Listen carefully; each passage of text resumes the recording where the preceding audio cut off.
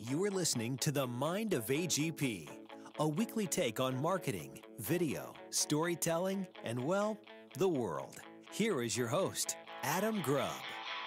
All right, welcome in to The Mind of AGP for January 30th, 2019. The big game is this weekend, Super Bowl Sunday.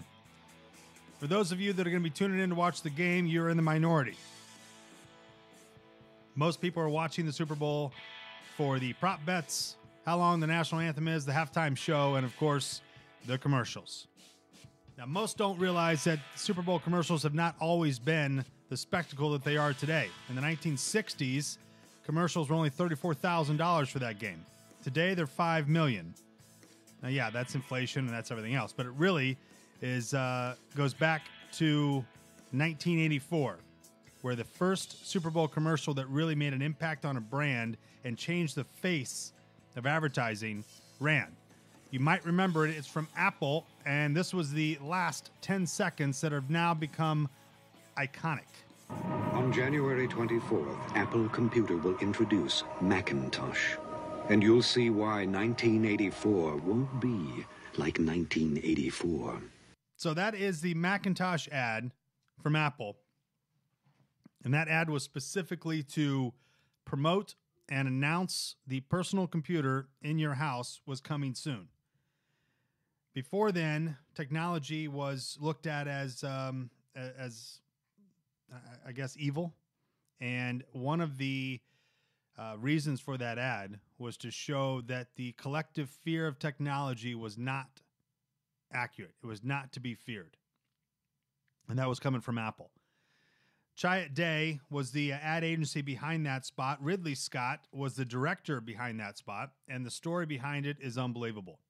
It almost didn't run, and it almost, uh, well, it almost didn't run, and then it did run, and it changed the face of marketing as we know it today. And that's not a dramatic statement. It literally did just that. It showcased that a brand can doesn't have to necessarily even show their product. It can tell a story and it can run in the biggest game of the year and it can change the perception of a product and of a brand instantly and can cause people to look at that ad now as one of the most innovative, creative, and distinctive ads that's ever run. if you've not seen it, YouTube it.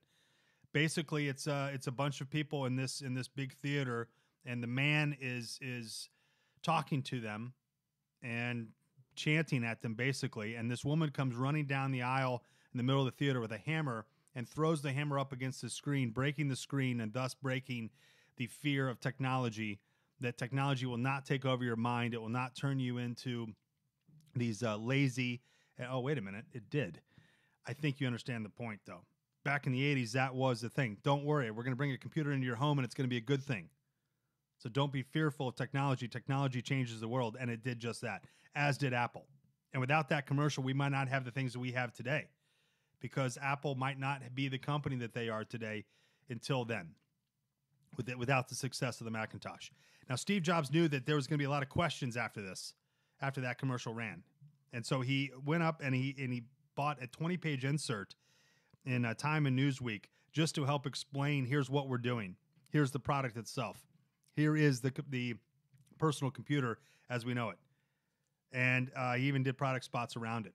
So that commercial was just the beginning, but it almost didn't run because when they showed it to the board, who were already nervous about something different and something unique and and and, and not the normal commercial, knowing that hundreds of thousands, if not millions, of people were going to be watching that and talking about it the next day and for years after, they were a little skeptical and they were concerned. They were so concerned that as soon as they showed the the agency showed the ad, the completed ad, on the Thursday before Super Bowl to the board of directors from Apple, somebody uh, stood up and immediately motioned to fire the agency. you know, oh no, no, no, no! My God, fire them! And then they sold off two of their spots, so they had a sixty and two thirties to run in the Super Bowl. So they had two 30 second versions of that. They sold those off to Heinz and uh, Hertz, Heinz ketchup and uh, Hertz rental car, and they kept the 60. the true Apple launched that day. I'll be honest with you. When you look back and they say, hey, we went ahead and ran that spot and it was iconic and it changed the world, that is what Apple was then, and that is what Apple is today because they're creative, they're bold, seemingly indifferent to criticism, and they started a revolution of tech. And quite frankly, they changed the world that day, all with a Super Bowl ad. The Mind of AGP, January 30th, 2019. Thanks for listening. Enjoy the game this weekend, and we'll see you next week as we go back inside the mind of AGP video, marketing, storytelling, and the world. Presented by Adam Grubb Productions. Your story told differently. We'll talk to you later.